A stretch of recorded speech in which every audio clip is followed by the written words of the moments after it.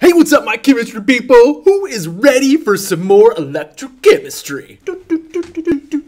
We are going to continue to make qualitative or quantitative predictions about voltaic slash galvanic cells based on half cell reactions and potentials and analyze these cells to identify properties of the underlying redox reactions. So redox, redox, redox as they apply to voltaic cells. All right, let's break it down. First thing we're gonna do, define what the heck a voltaic or galvanic cell even is. Two, we are going to then identify the anode, cathode, half cells, salt bridge, and voltmeter of a voltaic cell. So what the heck is a voltaic cell? And then let's talk about all the different parts. And there are a lot of them. And then finally, number three, we're going to explain how the process of oxidation and reduction apply to voltaic cells and where those processes occur. All right, so First thing you need to know is that the transfer or flow of electrons between atoms or ions in a spontaneous redox reaction can be harnessed to produce an electrical current if we separate the oxidation and reduction half reactions into half cells. When we do that, we create what's called a voltaic, also known as galvanic cell. Throughout this video, you're gonna see in the background a voltaic cell that I have created between zinc and copper and solutions of those metal ions. Now, if I place some zinc into some copper nitrate solution directly, we'll get the redox reaction to happen. But there's no way for me to harness those electrons as they're transferred from the zinc to the copper. Ooh, that's so cool. So what we do is we create what are called two half cells. We separate the oxidation half reaction from the reduction half reaction. But you've still got a substance that'll readily lose electrons and a substance that'll readily pick those electrons up. And by separating those two half reactions, we're able to harness that electron flow by having those electrons flow through a wire along with some ion flow through a solution creates an electrical circuit which we can use to power our lives. Quick note here as we talk about electrical current, current is the number of electrons that flow through the system per second,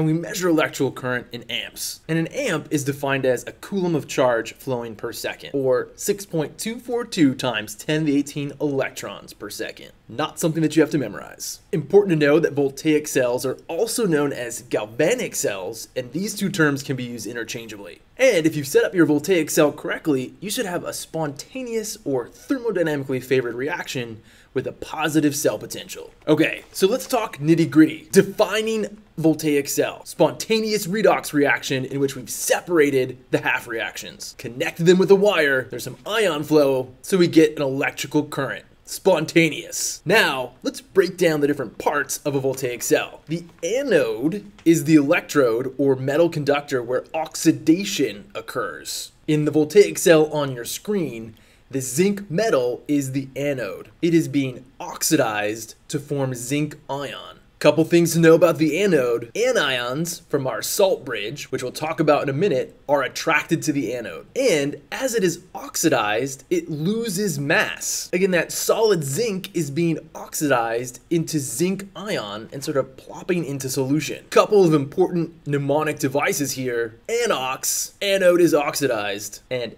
anorexic anode, because the anode will lose mass as the reaction progresses. Important side note anorexia is a serious disease, and if you or someone you know suffers from anorexia, reach out.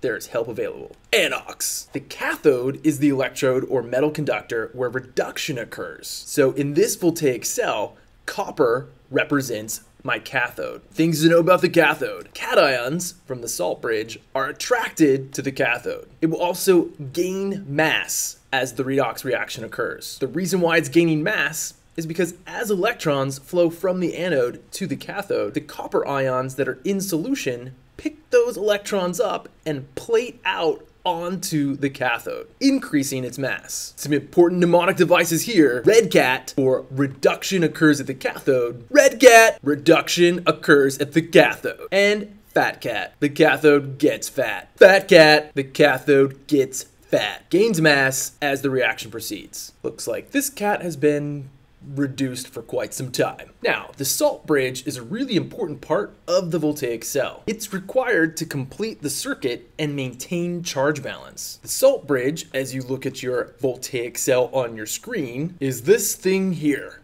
Often, we take a highly soluble salt, like potassium nitrate, dissolve it in water, and fill our salt bridge with it. Here's why that's so important. As zinc is oxidized, zinc ions plop out into solution, which creates a buildup of positive charge. If nitrate ions from our salt bridge didn't enter the oxidation half cell to neutralize that buildup of charge, the reaction would stop. Why would another positive 2 zinc want to join another positive 2 zinc in solution? Positive charges repel one another. So the anions in the salt bridge navigate towards the anode to neutralize that buildup of charge. Similarly, in the cathode, as the positive copper ions plate out onto the cathode, there's a buildup of negative charge in solution. So now our cations from our salt bridge move into the reduction half cell to help balance that charge. Without your salt bridge, you can't have a voltaic cell. Current will stop flowing. Electrons will stop flowing, your current will drop to zero. Now, we'll often place a voltmeter, boom, to measure the overall reaction or cell potential. For a correctly constructed voltaic cell, your voltage is always going to be positive because remember, a positive cell potential indicates a spontaneous reaction. And voltaic cells are spontaneous or thermodynamically favored redox reactions. Last note here, in a redox reaction, your electrons are gonna flow from the anode, the thing being oxidized or losing electrons, to the cathode, the thing that's being reduced or gaining electrons. So another great mnemonic, fat cat, again, to help you remember some important things about voltaic cells. Electrons will flow from the anode to the cathode. Fat cat. Electrons have been flowing way too long for this guy. Now, there's a great image in your notes that illustrates about a voltaic cell. Everything that I've just talked about. Take a moment, stare at that image. And then lastly, just a couple of quick notes. Recognize that voltaic cells can also be constructed in which the underlying reaction involves a gas or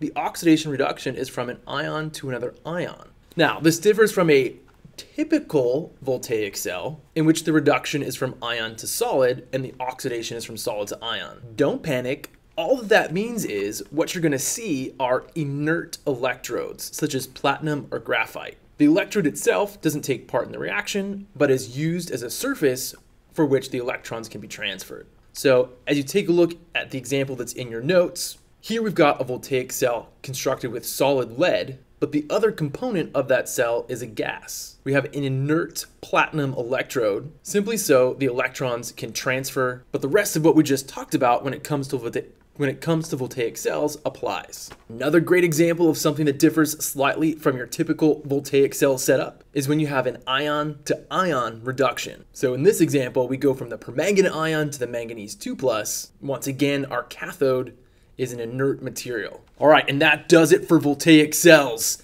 Have a fantastic day.